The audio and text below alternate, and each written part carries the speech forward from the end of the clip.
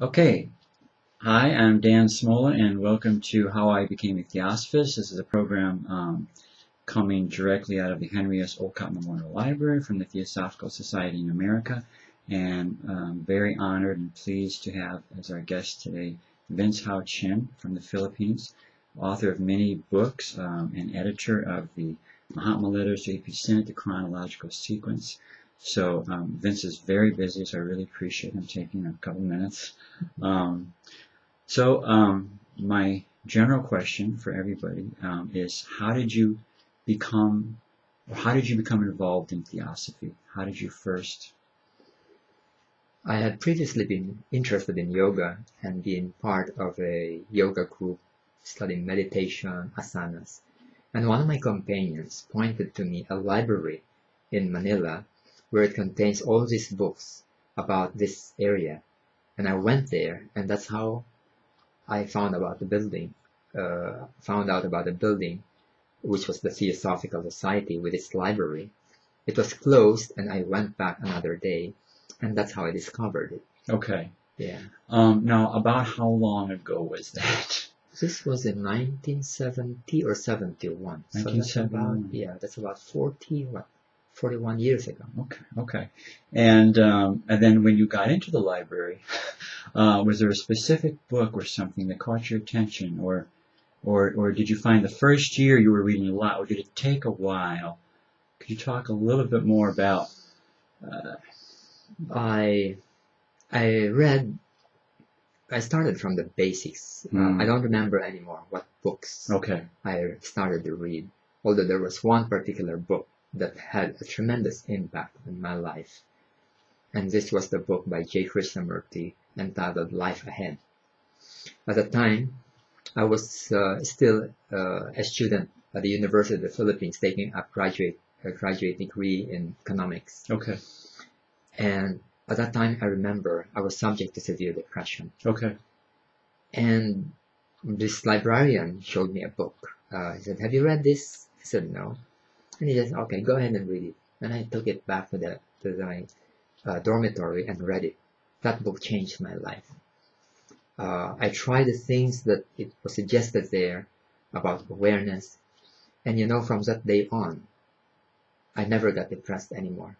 I, I was, uh, I became free of depression. And not only that, that's how I, I began testing the application of awareness on things like fear, things like trauma, things like painful memories. And one by one, when I look at these, either fears or painful memories, and look at it with full awareness, unconditionally, they fade away in terms of the emotional memory. The mental, intellectual memory remains, but the emotional, uh, what, the, the scars, the wounds, the etching, emotionally, they disappeared. And so, it made a tremendous difference in the way I lived from that time up to now. So that was one of the major impact in my life.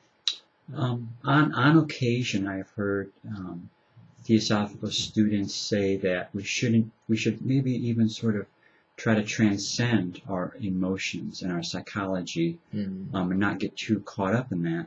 But it seems to be that you think addressing it directly is also important to spiritual. Not only important, but I think it's absolutely necessary. In other words, if we ignore it, what happens is that we leave a space, a, a department or a, or a corner of our psyche unattended and ignored and try to go higher. But these things tend to pull us down. When a person gets angry, when a person gets uh, becomes afraid, when a person feels hurt, these are things which would tend to draw our consciousness to a to an emotional level. Now, by ignoring them, we don't remove them. We just put them aside in the meantime. What I realize is that we must address them, allow them to come out and allow them to flow, and then we become free of them. The the most significant uh, mystical uh, bodies of literature of mysticism, um, mystical literature, repeatedly refers to this that the this lower level we have to address cleanse it up. Mm. Not just suppress, but cleanse it up. So it's purification. Okay. Otherwise, it's very hard for us to rise up because there's a natural tendency to fall down. Okay. In the mystical classic called uh, Cloud of Unknowing, Mm-hmm. It says that we have to have two kinds of clouds. One is the cloud of forgetting, which means that these these things that make us attached to uh, objects or people, we must have a cloud such that we become impersonal and indifferent to them. Then we also enter into another cloud of unknowing, where even the mind we will have to forego all concepts, ideas, memories, names, and then go into the unknowing state, which is the mystical or spiritual state. Um, the dark night of the senses of uh, Mhm. Saint John of the Cross, it's the same thing. But in all of these, it doesn't mean suppression, Mm. but rather really cleansing. Mm. And we don't cleanse unless we confront them. Uh, it's not that easy, Mm-hmm. but uh, in the in the seminars that we've been conducting, the self transformation seminars, Mm-hmm. It has been found by so many people that the things that they have, the baggage that they carry Mhm. for years and Mhm. years, they could actually be free of them Mm-hmm. by allowing them to be, to, to be looked at uh, with awareness, Mhm. even when they are feeling agitated or angered or, or angry or hurt. They may cry, they may tremble, Mm-hmm. but with awareness, these begin to flow out and really disappear permanently. And so to look at them with awareness, it's probably going to take some deep work, probably some meditation. No, Oh, okay. it's different when it, we go to meditation. Okay. This one is more superficial, Okay. but can be very strong. Okay. For example, if, um, for example, suppose there's a person that you don't like to, you, you know, you dislike because he humiliated you 10 years ago. Okay. If you think about him, you're going to feel something. Because if he has no effect on you anymore, then it means that you will feel nothing. In other words, it's just a memory. But if you still carry something, you'll feel something on the chest, Mm-hmm. or on the stomach if you're Mhm. afraid of him, or on the head if you're angry with him, Okay. or on the throat if you wanted to say something to him but you did not say it. You'll feel all of these because you just pushed a a um, a congested uh, a state of congestion in our energy system. You just pushed it and it surfaced. And at that moment when it has surfaced, that's the opportunity for it to be allowed to flow. So when it surfaces, then you feel discomfort, hard to breathe, maybe the arms will begin to tremble or get numb. Go ahead, just be aware of all of these because it means that that held back emotional ball Mm-hmm. or congestion Mm-hmm. be, has begun to flow Okay. and it will. It may take 10 minutes or 30 minutes or even one hour. But as soon as it goes down to zero, meaning you're now relaxed and no more distress, no more discomfort, then it has flowed. But to test it, do it again. Think again of the same person, Okay. and maybe there's some left over. Okay. Then do it again and again until no matter in what way you think of the person, no more effect on you. The final test is when you meet the person. Mm.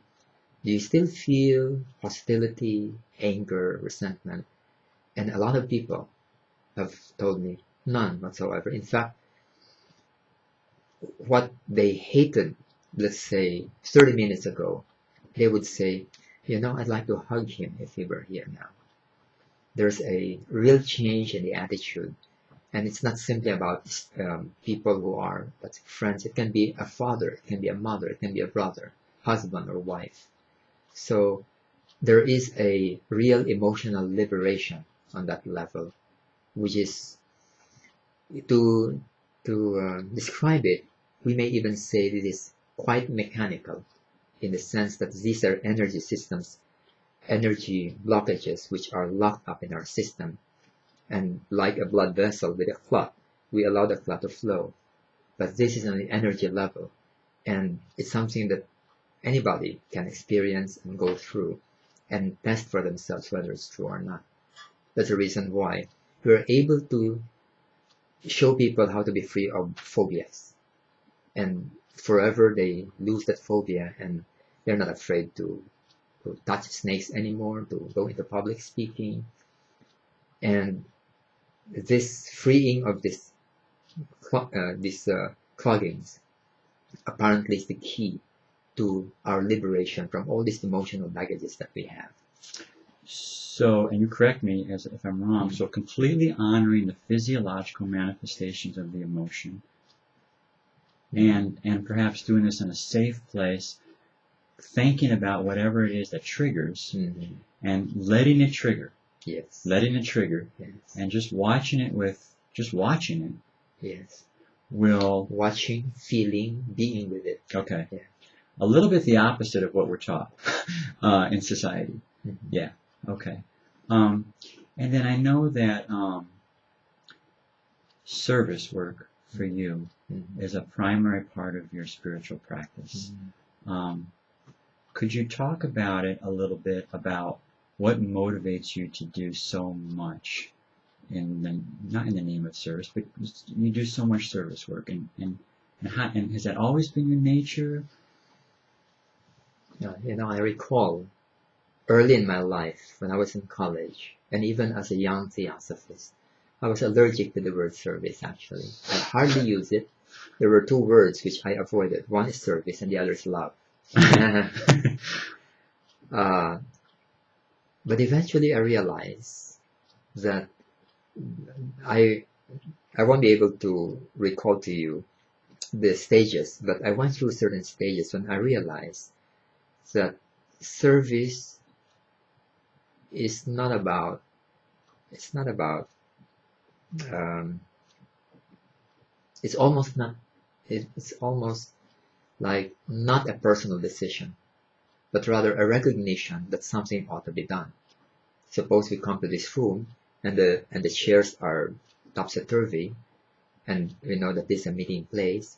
There's an, a, a spontaneous tendency to want to arrange the chairs. Or if there's some you know, something dirty you just you just uh, clean it. And that's it. It's just that it's something right to do something that should be done if somebody fell down you spontaneously want to help lift the person up so that you don't think all right i'll do service. It's just a sense that something ought to be done. Now in our life we encounter certain things that we recognize are important and should be done. And if it's there in front of us then let's just do it do our best. And in this sense we lose the fear actually of failing. Because the question of failure or success is only when there is a personal motive to it for it. In other words we'd like to do this project and this is our project and we should be successful otherwise it will reflect on us. And so there is a personal element connected to the project. But when it is just seen that it should be done the question of success or failure is secondary it's no Mhm. longer that important Mhm. because it must be done even at the risk of failure hmm because it ought to be done probably this is what is meant by dharma hmm in in the East that when we see something as some, something that, that that ought to be done, then it's we do it, regardless of the prospects of failure or success. So, in the in our work in the Philippines, probably at least for myself, I speak for myself. Um, this has been a basic attitude. So we've been doing many things. Some have failed, some have done well, but we go on, we experiment, we test, and uh, the key criterion is: is it something important that we should do? Is it something worth doing? In the in among the many things that need to be done or can be done, we need to look for priorities, important things. At the beginning, we we did things that were not that important, but we did not realize it. For example, in our service work in the TOS, I'm going to have you pause Yes. just for one second. And we're going to join up with Vince on part two.